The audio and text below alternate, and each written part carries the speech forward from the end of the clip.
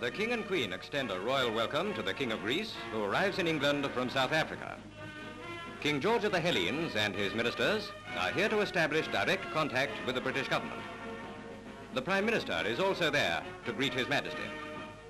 The informal reception on the platform ends with a brief inspection of the Grenadier Guards who form a guard of honor to the fighting King of Greece.